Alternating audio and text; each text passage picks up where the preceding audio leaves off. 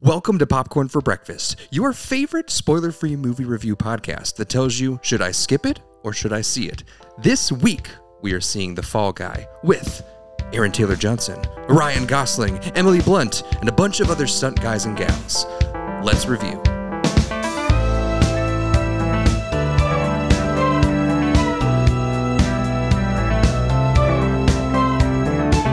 This is Popcorn for Breakfast, presented by St. Louis Area Smoothie Kings. Now, here are your hosts, Cam and Kurt. Welcome, welcome, welcome to Popcorn for Breakfast. That's right, the best spoiler free movie review podcast in town. I don't think there's any other out there, any other. I don't know that there is. I, I try to listen to movie podcasts from from now and then, and and first of all, there aren't that many Yeah. that are like, Full blown, yeah. full production. And I don't know that any of them just are slamming back to back. Spoil. I mean, not to toot our own horn, but I'm just saying. I don't, know. I don't think they're slamming back to back spoiler reviews like we I are. know. Spoiler free. We've got a niche market here, and again, we're always trying to bring you the best and the boldest and the earliest stuff we can to you. We got a free screening, early screening, press screening of The Fall Guy, David Leitch's The Fall Guy, with Ryan Gosling, Emily Blunt, Aaron Taylor Johnson, uh, Winston Duke, a whole bunch of other people. Stephanie Hsu. Stephanie Hsu. She's in there so briefly, but she's there. She's there. If you're a Stephanie Hsu fan, and I am. What what a time! What a what a interesting time at the movie theater we had. Yes. It's it's uh you never know what you're gonna get um when it comes to these screenings. That's what we've learned, Mm-hmm. and I'm always the energy is always high. I have to say. Yeah. And this is an interesting one because the you know the movie is the Fall Guy. Some people, I, I'm speaking for myself, but I mean, I, I, I, not just me. I'm sure there are others, right? right? Yes. Um, they didn't know that this was based on something. Can you believe it? They wouldn't know. Of course Um, not. That totally wasn't me as we were sitting down for this movie. No, uh, this is based on a 1980s television series, and so whenever we get these screenings, there there are there is press. Um, sometimes it's only press, sometimes it's a, it's a mixture. And uh, there were some fans of the original series in our screening, which was exciting. We got to talk to a few of them. Yeah. And I'm not very familiar with the series. I understand the synopsis. I tried to look into it a little bit before we went to our screening. Um, it's not streaming anywhere, though. Uh, a little birdie told me you might be able to find some episodes somewhere, like maybe uh, YouTube. Yes. A couple episodes. Uh, you didn't hear that from us, Right. Um, Universal. We don't know if that's legal or not. I don't even know if it's true. Okay, so let's just let's just keep that between us us gals. But um, yeah, so this is this is an interesting movie. It's a movie based on a television series from the early 1980s, starring Lee Majors and uh, Heather Thomas. And uh, the basic premise of that was stunt guy who moonlights as a uh, as a bounty hunter or someone who's a bit of a adventurer, an opportunist of sorts. Yeah. So. Trying to make ends meet and uh, It's a cool concept. It's a very modern concept. Yeah. I feel like. I mean, it works for both, but I mean, this is uh, it certainly works now. I wonder if this is successful, if we could see a spin-off CBS series sometime next fall. NBC, but yes, it would be. I think it would be NBC, but yes, uh, we could. Yeah. We could. It's coming. It's coming. Well, we're going to dive right into things. Maybe I should say dive roll since we're talking about stunts. We're going to do several somersaults across this table, as you will see, into our superlatives. We're going to talk about best actor, best supporting actor, showstopper, director's shoes, and our final thoughts and score tonight. And we'll kick it all off with our best actor, which we'd like to call, and the Oscar goes to Cam. Tell us, who is your favorite actor in this film? Well, I have to go with someone uh, who really is one of my favorite actors ever. Um, I don't think that's hyperbolous to say. It's it's Ryan Gosling. I think Ryan Gosling is fantastic. I know I'm not alone in that belief. I know that many people love him. I mean, he he is the quintessential movie star. He's charming. He's hilarious. I mean, really hilarious. I've talked about it a lot on this show. Uh, he is one of the best comedic actors out there, if not. I mean, I don't know. He's he, he might be the best mainstream comedic actor that there is. Yeah, Like, best uh, best leading man actor. yeah, Yeah. And, and someone who's not a comedian by trade, Correct. Um, but is someone who just has that. But he's he's got a lot going on in this movie. It really is. I mean, I know the billing is Ryan Gosling and and Emily Blunt, and Emily Blunt certainly has a huge role to play in this movie. But the movie is The Fall Guy. Ryan Gosling is the Fall Guy, and he really carries this movie. Um, I think in so many ways, he's asked to do so much. I Yes. mean, I, I think it's it's uh it's a really demanding movie for him. I just think that so much of the emotional pathos like rests on his shoulders. So much of the story rests on his shoulders. So much, so so many of the laughs rest on his shoulders. It's there is just a lot going on. He may in fact be the only one who is equipped to handle it all. I think he does a really good job. I think he elevates this movie. Um, and he, he does all the things that Ryan John Ryan Gosling does. I'm And getting- Ryan Johnson. and Ryan Johnson. Yes. I'm getting Aaron Taylor Johnson in my head. But all of the Ryan Gosling things are on full display here. Um, the chemistry with Emily Blunt is electric. I mean, they're both super charming individuals who Yeah. just really fit in with this uh, love story dynamic very well with each other. Um, and I, I thought it was excellent. So Ryan Gosling, not a surprise by by any means, but um, just an, another great performance by him. I think it all goes back to his Goosebumps TV series days and It always does. his Mickey Mouse Clubhouse. Uh, sorry, Mickey Mouse Club uh, Yeah. days as well with Britney Spears, Justin Timberlake. The whole gal, the whole gang is there. That's right. I'm gonna go with Miss Emily Blunt as my Oscar goes to best I love it. actor. She's fantastic. I mean, who would have thought that the other secretary in The Devil Wears Prada would be such an acclaimed figure and staple in American cinema and, and British cinema too, because obviously she's from the other side of the pond. She's fantastic. She's uh, she's grounded. She takes some uh, moments of the script that are really honestly poorly written dialogue moments and she makes them work. Like you can actively see her brain uh, hide the fact that it's a really just bland moment and she goes for it. Uh, you can also see uh, some unexpected fight choreography come out of her. Uh, did not expect the, that. Not a spoiler but just kind of fun. Uh, never seen her in, in that kind of a role past sicario but she mostly had a gun in sicario. So this was very fun and she was very good at it. There were there, there were just mind-blowing moves in there.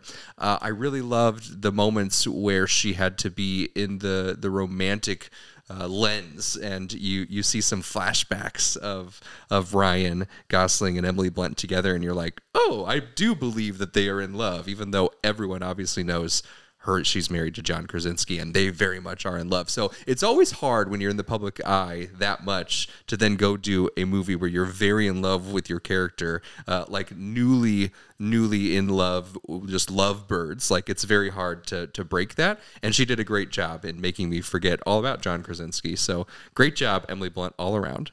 Yeah, it pained me that I couldn't choose Emily Blunt. I mean, I could have, I guess. Uh, Yeah. that, but I didn't. You you know how much I love Emily Blunt. I think she is criminally underrated, even despite the fact that she gets huge roles. But like, can we get her a good script? Yes. Please? can we get her like a well written character, please? I, like, I'm begging. She's got so much range. I'm I'm thrilled that you you brought up both that she was helping this screenplay out a lot Yep. in some of her scenes, and that she was in Sicario. Yes. I think people forget about that. And she's a beast in that movie. She's a beast in everything. She's such a force of nature. Yeah. Um. So thank you for bringing that to light. She's a very smart actor, and the right script has not come across her desk. Although maybe maybe Edge of Tomorrow was very smart for her. Yeah, I mean, obviously showcase Tom more. She's had great roles, and and I, you know, I'm not one of these people who feel like her role as Kitty Oppenheimer was poorly written or didn't show. I, I thought she was phenomenal. She was that. great.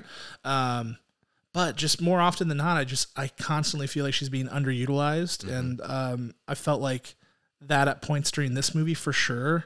Uh, but to, to your point, she she really grabs the bull by the horns and is just like, I'm gonna make I'm gonna put my imprint on this scene, and that's what that's what you gotta love about her. Yep. Yep. Time for her to do a biopic. I don't know who she'll play, but that's going to be the one. Next up, we're going to talk Scene Stealers, the best supporting actor. Cam, who do you have for this second spot on the list? Yeah, uh, I'll, I'll have to check the tapes on whenever we reviewed Bullet Train, which is another um, David Leitch film. I, I think there's a pretty good chance that Aaron Taylor Johnson made an appearance as one of our superlatives there, maybe even as scene stealer. Uh, I think he's a scene stealer in this movie as well. He just he fits in so well with what David Leitch does. I think that um, you know, I always find with with David Leitch films, I, I say always, he doesn't have that long of a filmography, but like of of the films that he's directed more recently, there are some tone issues at times in terms of like they're trying to pack a lot of comedy in and sometimes the tone is too far not enough it's inconsistent whatever. But aaron taylor johnson and him just seem to jive. Like they're mm-hmm. they're just like on the same page because every scene with aaron taylor johnson was high energy hilarious aaron taylor johnson's just totally confident he's, he's not pulling any punches he's just like well, with leaning a in. body like that, I'd be confident too. I just mean like he he's confident in what he's saying. You know, he's, his his line delivery is is always funny. It's it's uh like I said, he's he's not pulling any punches. He's just going straight for it, totally fearless. I mean, they're just like go crazy, and he he does. And in this movie, I thought that, like the laughs per capita driven by his character were so much higher than anybody else. Um, he he is a true scene stealer in every sense of the word in this uh, this movie, and um, yeah, I, I think he, him and David Leitch they got to stick together They because do. they're they're they're crushing it. I thought the, the Bullet Train performance and then this one, I mean, I don't need to see anything more. They're a good pairing. Uh, you stole my scene stealer. You, Ha-ha. I, I'm very Take mad that. at you. I just have to point out that Sorry, one my of my glasses are fogging up. Oh, that's okay. One of my favorite things that Aaron Taylor Johnson does in this movie, because the movie is a movie within a movie. Obviously, they're filming a movie and it's about the stunt people around it. Uh, is that Aaron Taylor Johnson's character in the movie, within the movie, he basically sounds like Matthew McConaughey yes. on steroids, and it is it uh, aggressively increases every scene that he takes, and I absolutely loved it. It It's was so good. I was cackling. It was- Like I said, it, it is like he is the most consistent source of laughs in that movie. Like if he's on screen, you're getting good, genuine laughs. Nothing cheap, nothing milking it. He's doing something ridiculous and hilarious and totally him, and it's just great. Yes. So I'm mad at you, but I guess I will choose. I did have a a, a next in. Nice. And that would be Mr. Winston Duke. You know him, of course, Oh, yes. as M'Baku from Black Panther and from all the Avengers films. Uh, And from Us, I thought he was really good in Us. Oh my gosh, Jordan Peele film. He was so good in Us. Yeah. I don't even like horror movies all that much, but that was incredible. That movie was really incredible. I know people will put that sidebar, put that Jordan Peele movie below, like Nope and everything. I'm like, mm that's his second best right there. Us. I mean, I'll, I may have to fight you for that, but uh, I'm just saying. Us is a really good movie. That's why I hate ranking Jordan Peele movies because it's like one A, one B, one. You know, like the, it's like here's three really amazing movies. Why don't you rank them? I hate that. well, it's your fault because I had to bring it up because you said us. Anyways, M'Baku, Umbambe. Uh, Winston Duke is in this film, and there's something so mature about his experience uh, in front of the camera and all of his acting experience that he knows exactly what he's going for. He has lined out all of his acting tactics and choices that when you see him on screen, everything is intentional. It's very believable. There's nothing that's uh, that's him versus his character. Uh, what I also loved about this is everything uh, that I've seen him in, he's always been covered up entirely, right? So in Black Panther, he's got his his warrior robe on for most of it, right? Uh, in Us, he's got the red jumpsuit. We got to see his arms. We got to see his like his legs. Like he wore a costume that fit him and that wasn't uh, to like in, encourage or emphasize his his height and to make him like a bear figure. And your boy is jacked and he is fast, and I am so I was so impressed with that.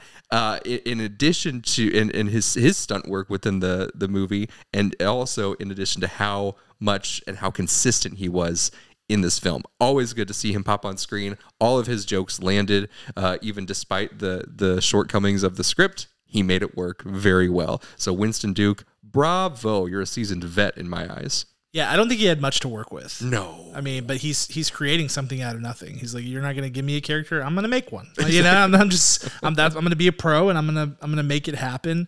And yeah, his physicality, like you said, is such a huge part of this performance. And um, yeah, I mean, what's not to love about Winston Duke? Honestly, He's so great. He's so great. How about let's talk about Showstopper. I want to hear about your favorite production quality or or theming that made you say, "Wow, I wish I would have written that."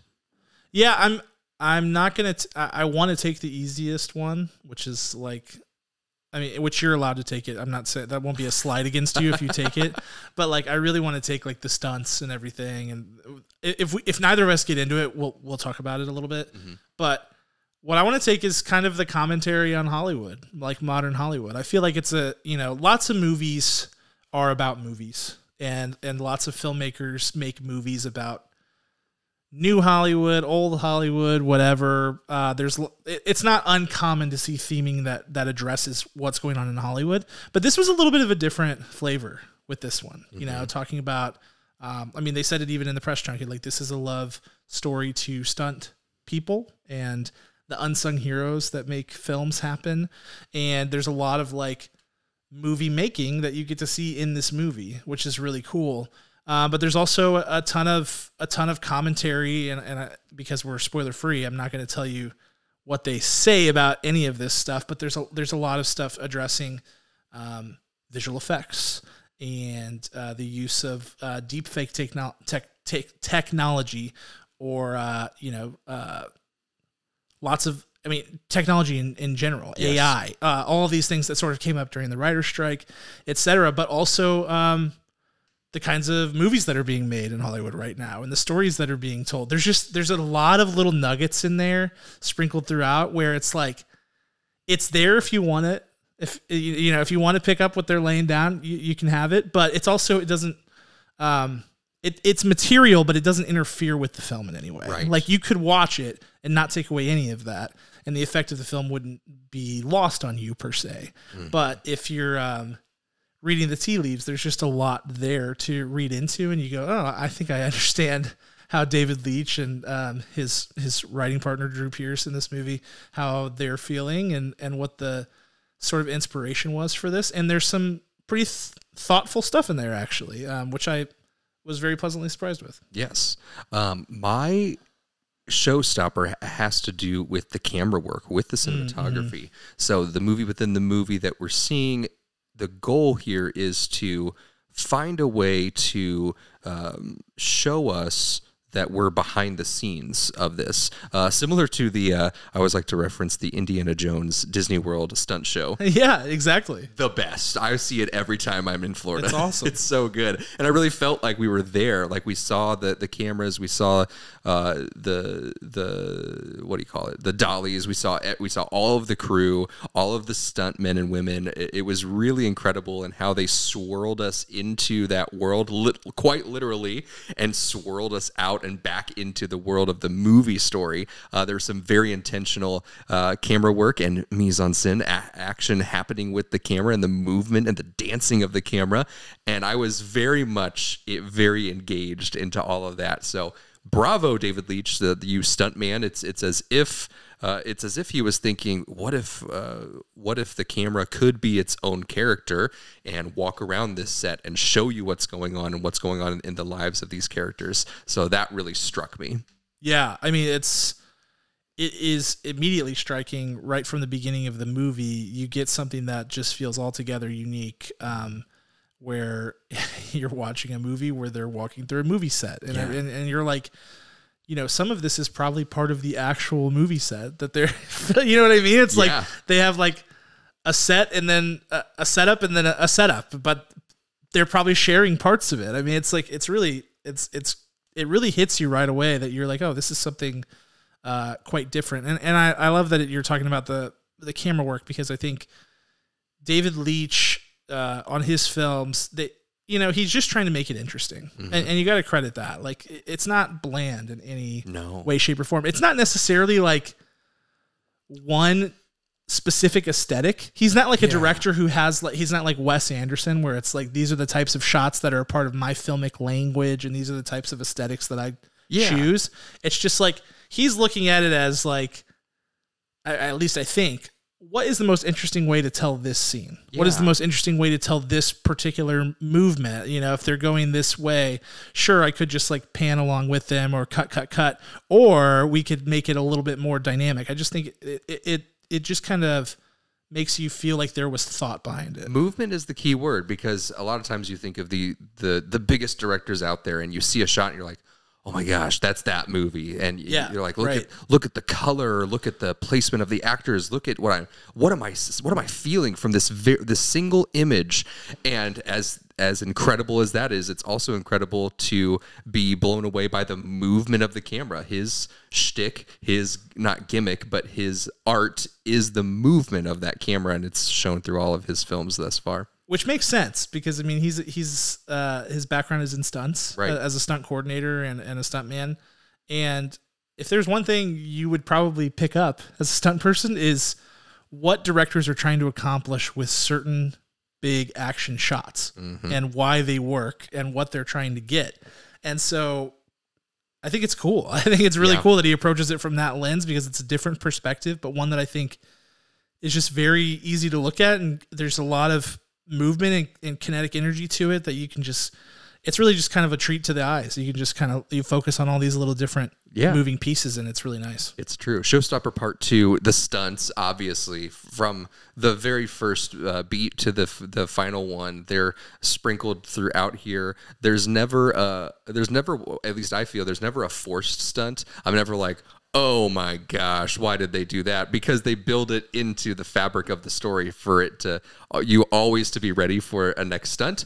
And they never build it to like escalate, escalate, escalate. Every stunt has to be bigger than the last. Nope. It's just sprinkled very dynamically with different variants of stunts, and it's all very exciting to watch. yeah and, and it reminds me you know speaking of David Leitch one of his first credits he actually wasn't credited It was for john wick he co-directed that with chad Stahelski, but he was not credited on the film because of directors guild and all that Yeah. But John Wick is something that comes to mind where it's like there is no sliding scale upward on action set pieces in those movies. It's just like each one needs to have its own identity as Mm-hmm. an action set piece, but it doesn't have to get bigger, bigger, bigger because there's just a limit to that. Yes. Uh, case in point, Fast and Furious. Like what? there's just there's only so far you can go, and it just bigger is not al- always better in the sense of stunts. It's it's the creativity of Yeah. it, and this movie definitely had that vibe where it was like, let's just we're gonna see a bunch of different types of stunt set pieces. Mm-hmm. Um, they actually they had somebody on set who was credited as a stunt designer on this movie, Very which is cool. believed to be the first time that credit has ever been used. And I think they're hoping, you know, they had kind of spoken about it that it will spark some change in the recognition of stunt and the artistry of it. So that's really cool. Um, they do some really cool stuff, and it's not to say they don't use CGI. I mean, they certainly do. And and and David Leitch has used a ton of both in his career. You know, he's not necessarily like everything has to be practical, but the stuff they could do practical, they did, and they did. You know, they rolled a car eight and a half times, which is the first time that's ever happened. Um, they they jump, uh, what was it like, two hundred and fifty feet or something like that. Yep. Um, they they do a lot of stuff that you just don't see done very often, and that's just really cool. Yeah. Uh, go watch Argylle if you would like CGI. My gosh. and now let's talk about the things we didn't like about this movie. Cam, put your director's shoes on. I'll, Yeah. I'll wait while you lace them up. Make sure the bunny ears, right? Yeah, yeah. They're around the tree. And uh, do you? Do I you got double- it. I you- I'm good. I'm good. Mine are Velcro, actually. I'll have you know. Perfect. I double knot every day of my life. I'll have you know. Tell me what you didn't like about this movie. Yeah, I, I mean, speaking to David Leitch's prior filmography, talking about John Wick, he's also the director of uh, Deadpool 2, the director of Atomic Blonde, Bullet Train. Um, what else am I forgetting? Hobbs and Shaw, um, and a few others. I think the one other thing that sticks out that's not not good about his movies is they don't always have a discerning edit on them. There's never much of a sense of like this like that they took things out. They leave too much in, is what I'm trying to say. So there needs to be a more discerning edit. There needs to be um, there's too much fluff and filler. There's too much exposition, which is crazy for a primarily action director. But he bogs his movies down with exposition. And sure, it's in the screenplay, but it's your job working with your editing team and as the director to say, you know what? This was in the screenplay. It does have a purpose, but it actually we can rework that or we can cut this particular part out and add something else here. And I I felt very much this way with Bullet Train, and I felt very very much this way with this movie. There's just too much when there doesn't need to be. Yes. Like you're just you're, uh, there's so many scenes, particularly in in the the early half of this movie, where it's just like, why are we still here? We're just meandering. I mean, it's like lingering and, me- and meandering our way through this movie when you're like this movie could be a 90 minute movie. And it's like it's closer i don't know where it, it, it officially clocks in at but i think we left the movie theater like two hours and 10 minutes after um, it started or something like that. And there's just no need for for all of that. And th- it's trying to do character stuff but i to me everything that it does in in that fluff is is to the detriment of the character building. I don't think it helps at all. And the same thing like with jokes on some of these scenes. It's like it feels like they drag out these scenes just to try to milk a joke to ensure that they get a laugh. They're like hit it again, hit it again, mm-hmm. hit it again so that eventually the audience like has to laugh. at some at, po- at certain points I felt like they were being like laugh, laugh at this, you know, like they just we're going to keep throwing at it until you do. And um I felt like that was unnecessary.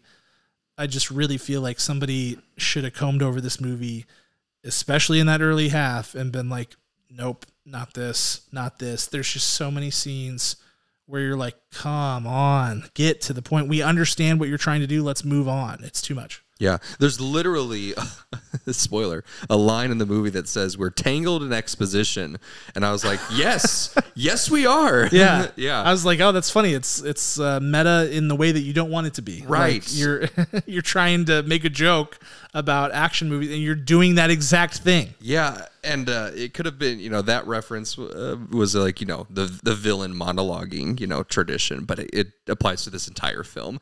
Um, there's there's so much that could have been left on the editing floor. Uh, it has poor pacing because of that. It doesn't move. You have these incredible action sequences that never feel too long, but all of the individual exposition and talk and character building scenes always feel too long. Uh, just like you said, those they're milking the jokes in a way that a stand-up comic would, but Yes. y- it's live and you have immediate uh, interaction, and it makes sense there. So I don't know if David Leitch also wants to moonlight as a uh, as a stand-up comic, and he's like dipping his toes here. So that might be uh, something to explore uh, with yourself, sir. And too many false endings for me for this. I mean, this could have ended six different times and I was happy with the very first one. I was like, yeah, that's clean. I like it. It's it's succinct, and I'm ready to go. I'm ready to go home. I've I've completed my journey with these characters, and then it kept going. so that was a little upsetting. Um, those are my director's shoes for the Fall Guy, and now. We just want to give you our final thoughts and score to give you an idea of where we land with this, all of this, this, uh, this bubble, this, uh, This flubber. exposition, this tangle of exposition. Yes, we we are. At, We're tangled in exposition, as it turns out. Oh gosh, we're gonna review everything we've ever recorded after this. Cam, go ahead. Final thoughts and score. Yeah, I mean, I, I mean, it, it's it's fine. It's it's not great. I think it will be a crowd pleaser. I think there will be plenty. Judging by our our audience, I think there is a demographic of people who will find this very enjoyable. Um, it's a little bit too. Um, it's almost like a like a heart rate thing where it's where, where it's like you don't have uh, a steady wave. It's like jerky where Yep. it's like cool, big action set piece, and then we're here for a long time. You're like, when's the next heartbeat? Is is this person alive? Is this movie alive? Um, at times it feels like no, uh, and, and you're you're bored in a movie where you certainly should never feel that way. This is an action movie. This is the Fall Guy. It's based on an action TV series.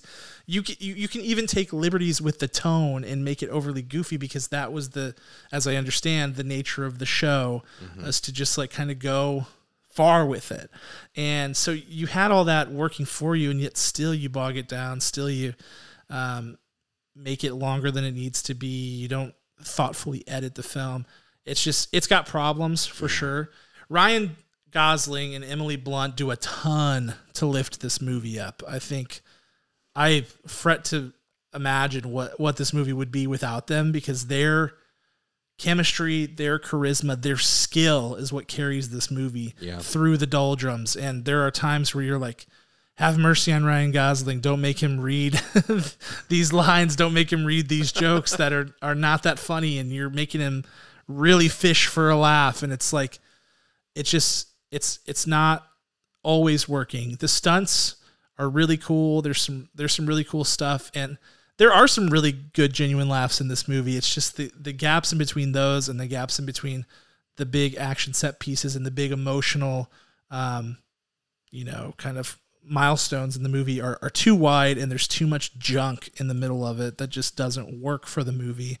Um, there are characters that are totally unnecessary, completely unnecessary in this movie that are given too much time. There are characters that are just aren't fleshed out at all. Um, there are caricaturish performances from certain characters or certain actors.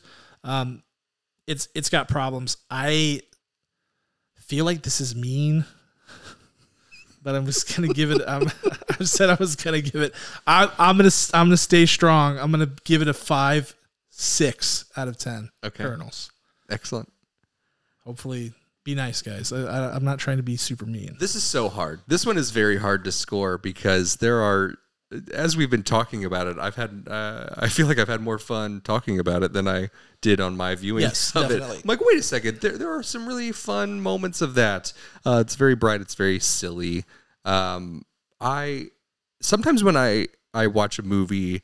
If I become bored or I lose the suspension of disbelief uh, that I'm in it, that I'm that I'm, I'm in this story, I will start a running number in my head, and I'm like, right now this movie is this this is the rating I would give it.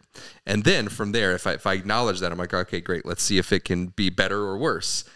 And it kept ticking down for me. You're unfortunately, you're the you're the tipper that lays the dollars on the table and says, "This is what your tip is. You can either add or subtract from it with how you perform." You're that guy. that's me. That's you. Oh no, and that guy sucks. That guy does I, suck. I get what you're saying, and I agree with it. I'm just, it's exactly that. Oh my gosh, I'm gonna start putting popcorn kernels. Yeah, just on lay the out table. ten kernels and just eat them as.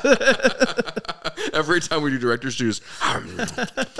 oh my goodness, that's fantastic. I think that I I'm really sad that it wasn't more entertaining, but um I'm gonna give it uh I'm gonna give it a higher score than I initially planned.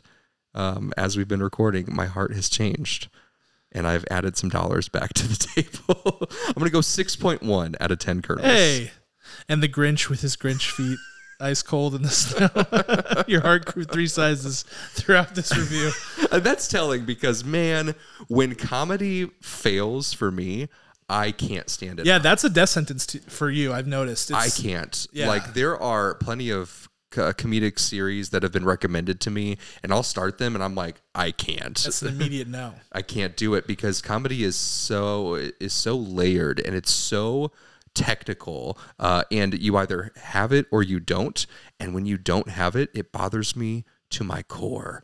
Um, so thankfully, even even Ryan Gosling milks some things in here Yeah. Oh yeah. not on his fault. He was just, you know, it was that's a director thing, honestly. Um, but it the moments that he does have, he he shines pretty bright. So It's it's true, and I think that they underuse his comedic skill set too. Yeah. They kind of really focused in on like his really like sarcastic Mm-hmm. um, traits, which he's he's one of the best there is at that. The whole like sarcasm, deadpan delivery, he's Mm-hmm. great. But he's also really good at slapstick. He's really good at like goofy, silly. He's good. He he can do it all. he's good at, at applied comedy for the story. Like, uh, Yeah. the- that's all he does in the Nice Guys. Like, Yep. it is. It's there's no slapstick. There's no deadpan. It is strictly within the realm of that character. Yes. Like, oh my gosh, it's incredible. And even even La La Land, which I recently rewatched, it's like there are moments where he is just like screaming, but it is the funniest thing I've ever seen Yes. in my life. Yeah. So his his understanding uh, of comedic structure is very high, very high comedic intelligence. Yeah, so it hurt to see him struggling at times in Yes. this movie to like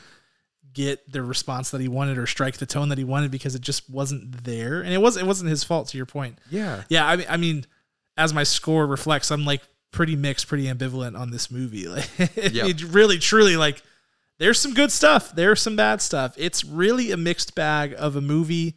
Um I hope people enjoy it. I think a lot of people will. I think it will. Uh, I mean, I think they're. It's like gonna win ten Oscars. I think we can call it out right now. Definitely not. You heard it. Popcorn for breakfast. but I think that there is definitely, like I said, there is a demographic for this movie with with which it will knock it out of the park. There, Yeah. I mean, and some of those people were in our screening tonight because they were loving it. I mean, mm-hmm. loving it. So For the, we'll see. For the first year that the this coming year, the Academy is going to have an actual stunt award category, and I would be hard pressed to see who else can tackle this. I mean, we do have Furiosa, a Mad Max saga. It goes to Dune. It's like, oh man, we created this award for the Fall Guy. And it's like, wait, that was a CGI moment that they submitted for. I don't understand. no, the this. sandworms are real. They're, uh, the- yeah. Timothée Chalamet did that. Timothée Chalamet. Listen, we are so glad you came out with us today to learn about and listen to us chat about the Fall Guy. It's going to be in theaters this weekend. That's right. May You guys, third. you guys go see it. Listen to us. Uh, sometimes we give these reviews and we chat with some of our listeners, and they say, "You guys got it wrong. Here's why." And Often. we would we would love to hear those opinions. Always tell us what you think. We, we love to hear that too. Start the continue the conversation on any of our our channels. Uh, subscribe to us on YouTube, on Discord, and chat with us on just random stream of thoughts. At that time, um, we're on Twitter or X. We have Facebook. We have Instagram. We have it all. TikTok. We've got all these sorts of fun things happening at all times. Our website, popcorn, the number four breakfast.com, popcorn for breakfast.com, where we have blogs coming out almost at a weekly rate. We want to hear from you. We want to see you. Thank you so much, and we'll see you at the movies. Peace.